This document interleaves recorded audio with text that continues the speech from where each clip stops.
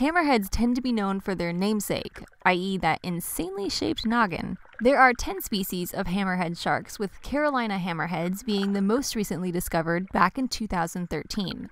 Bonnethead sharks are included as hammerhead sharks, and all 10 species belong to the Sphyrnidae family. That iconic hammer shape is referred to as a cephalofoil, and there are a couple reasons why these sharks may have developed this way. With their eyes positioned at the tips of their face, hammerheads are allowed a 360 degree vertical view of their world, meaning they can keep a pretty close eye on potential meals. Of course, this does mean that they are a bit lacking in having the ability to see right in front of them. They make up for this with sensory organs called ampullae of Lorenzi, which are also found in other cartilaginous fish. The ampullae of Lorenzi are used to detect electric fields in the water. All living organisms give off some sort of electric field, and hammerhead sharks are able to pick up on that. Plus, with a wider head, it's possible for them to have more receptors and thus be more sensitive to the movements of their prey. This helps them in finding their favorite food, rays. Although rays tend to spend time hidden beneath the sand, hammerheads are able to detect their electric fields and scoop them from the seafloor. They'll even use their hammer shaped head to hold prey down while they eat because their mouths are actually pretty small. While hammerhead sharks prefer rays, they also eat other fish, squid, octopuses, and even each other from time to time.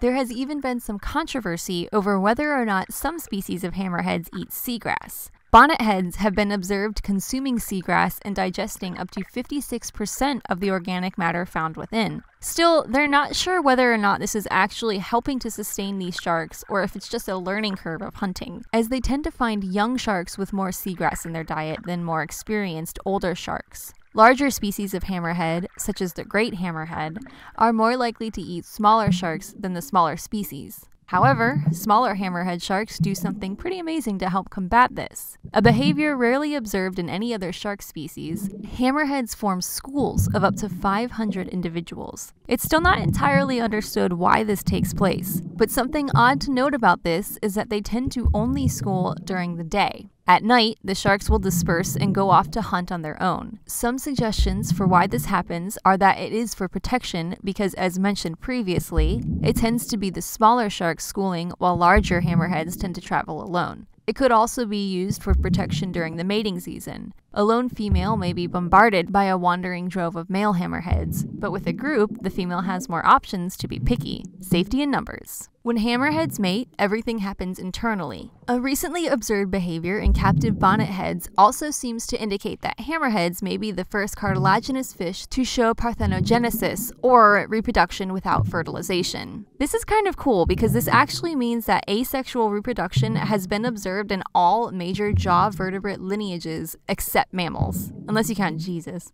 Fertilized by a father or not, the young will develop inside the mother's body, and after about 9 months, she'll give birth to anywhere from 10 to 50 live baby sharks, also called pups. They're on their own after that, however, because mom and dad don't take any part in raising them.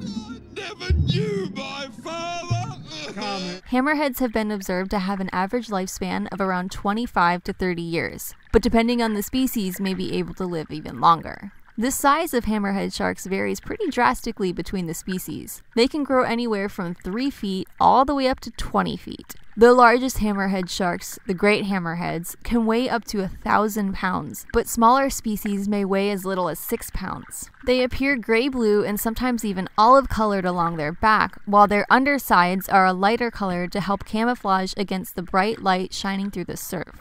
They can even get a tan from the sun's rays as they spend a lot of time near the top of the water column or in more shallow water. They live worldwide in warm, temperate, and tropical waters, and, although they are pretty widespread, some species of hammerheads are endangered due to hunting. Recently, measures have been taken to try and help reduce the amount of endangered hammerheads killed per year. In Hawaiian culture, sharks were revered as gods, and it was believed that when a person died, she would be able to transform into a shark that would help protect and defend her living relatives. These sharks were referred to as the family's Aumakua. Even today, it's believed that seeing a hammerhead in the waters of Maui is a sign of balance in the ocean and that families are being watched over. For more information on hammerhead sharks, check out the links in the description. Let us know which animal you would like to learn about in the comments. Thank you for watching, and be sure to give a thumbs up for more animal fact files.